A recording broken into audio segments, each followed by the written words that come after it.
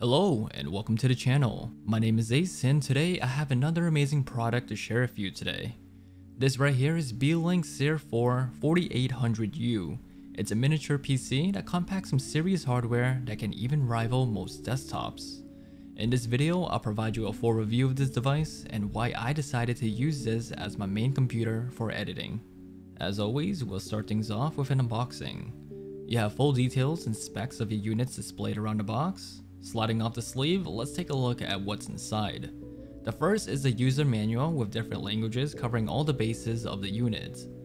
Moving along, you have the main device, but we'll just put that aside for now so that we can discuss the rest of the inclusions. The accessories box will contain all your connectivities such as the long and short HDMI cable, a 12 volt DC power adapter, and lastly mounting brackets if you want to mount the device to the back of your monitor or desk. With the unboxing out of the way, let's move on over to the main course. When it comes to the design, you can see that it's rocking a sleek colorway of black and red. Starting with the front side, you have a reset hole to clear the CMOS. This is if you tinker with the BIOS and you want to restore the motherboard back to its factory settings. To the right of that, you have two Gen 3 USB Type A. Following along, you have a USB Type C connection that also has the option of displaying a 4K resolution. Next to that is a 3.5mm headphone jack, and lastly, the power button. On the backside, you have three ventilations for airflow, and for the connectivities, starting from the left, there is a gigabit LAN port for your ethernet connection, there are two USB type A connections, but one is Gen 3, while the other is Gen 2. For the display, you have two connections for HDMI 2.0, which can also display up to 4K resolution, and if you were to combine all of them together with the USB Type-C output, that means that you can have up to 3 displays at the same time that can output 4K resolution each. Unfortunately, it does cap out at 60Hz, so don't expect too much from that if you have a high refresh rate monitor. Lastly, to power the device, you can just use the DC input with the power supply that comes included. Looking at it, I still can't believe how small this unit is. It's truly amazing how they're able to compact all of that with what is limited to. But with that said, let's get into the internals to see what the components are. You can open the device by removing the four screws around the corners.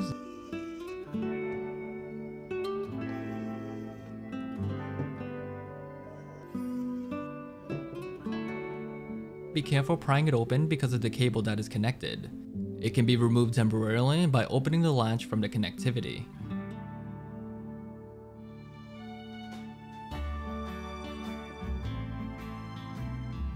This CPU features AMD's Ryzen 7 series. This is the 4800U edition with an 8-core, 16-thread 1.8 GHz processor with the option of overclocking upwards to 4.2 GHz.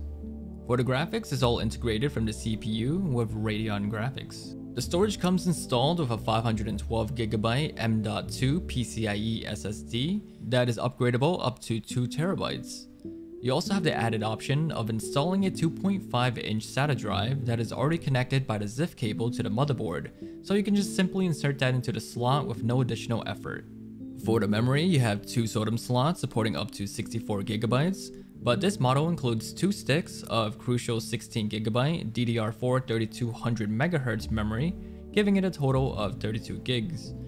If you don't have the option to use the ethernet port, this device does include built-in Wi-Fi, so you can connect it to the internet either way.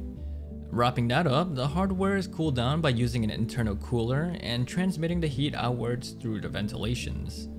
The compatibility for this unit comes installed with your choice of Windows 11 or Linux Ubuntu.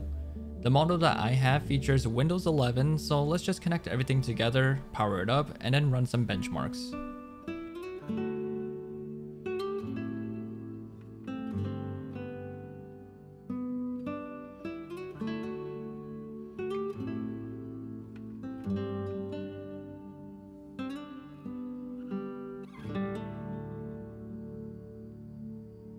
We're using Cinebench, which is a common software used for CPU benchmarking. Setting it to the multi-core settings to take advantage of the 8-core processor, this ranks it in 7th place when compared to other chips. I'm not going to be using it much for gaming, but since we already have it, we might as well try it out. Perhaps I'll do a follow-up video showcasing the performance with other games, but for now, we'll just keep it limited to 3 games.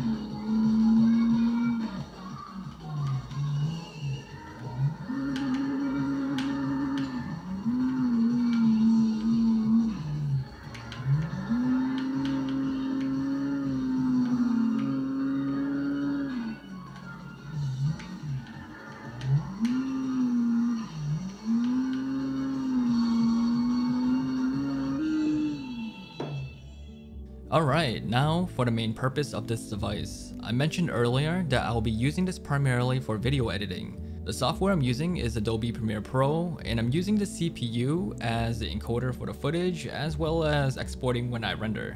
In case you didn't know, I shoot all my videos in 4K at a bitrate around 10 megabytes, and this device can pretty much do it all. Playback and editing 4K video footage was buttery smooth. The video you're currently watching was all done on this device, and if you're interested in a follow-up video focusing on the process of video editing and just digital effects in general to showcase what this device can really do, then let me know. To wrap things up, let's go over the price. The model that I have here retails for $700 and can be purchased on Amazon for either 2 days or same day shipping using Prime. It's also available to be purchased on Banggood for global shipping, but international users should be wary of import fees depending on your country. The other option is to purchase it from the website itself, which I will include links to all directories in the description below. Most high-end computers, especially in this day of age, will cost you thousands of dollars. But for a small and compacted device like this, that is also portable, can even rival those builds and is available for less than half the price. I'm extremely happy with this device, and I'm glad that I could use it as my dedicated PC strictly for editing. That will conclude my review of Beelink SER4 4800U. If there is something that I failed to mention, or if there is something specific with this product that you want me to test for a future video, then please let me know. Thank you as always for your feedback and for supporting this channel, and until we meet again, take care.